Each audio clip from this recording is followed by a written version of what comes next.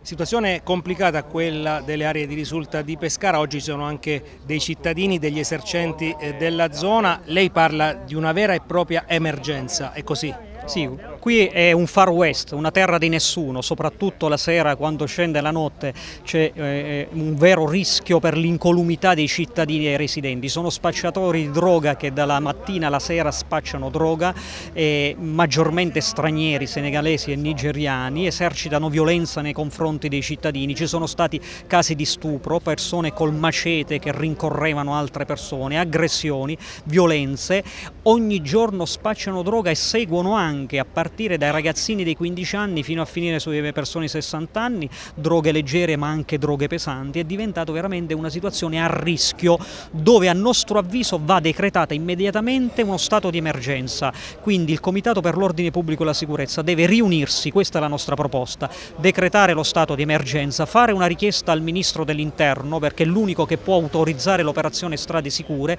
e autorizzare l'operazione Strade Sicure che significa pattuglie miste, esercito e forze forze dell'ordine che possano presenziare fisse H24 in questa zona con eh, ronde continue, pattugliamenti continui, altrimenti il problema non si risolve non solo qui ma è tutto il quadrilatero, poi ci sono diversi furti con spaccate ai negozi in centro, questi balordi criminali pregiudicati si immettono all'interno dei negozi esercitando anche violenza, qui abbiamo una rappresentanza di diversi commercianti esasperati che non ce la fanno più, quindi o prendiamo in mano il problema o non lo prendiamo. Io sono contro ogni operazione ad orologeria,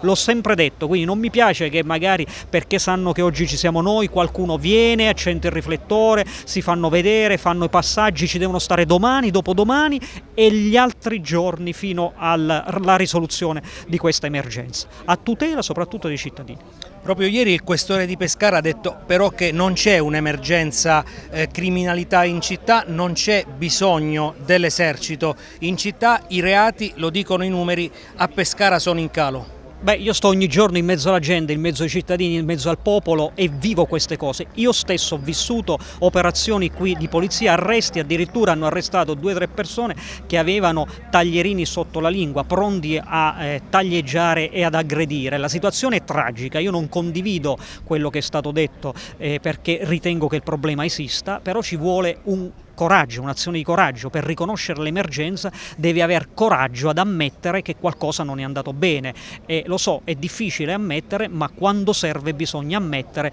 per risolvere i problemi.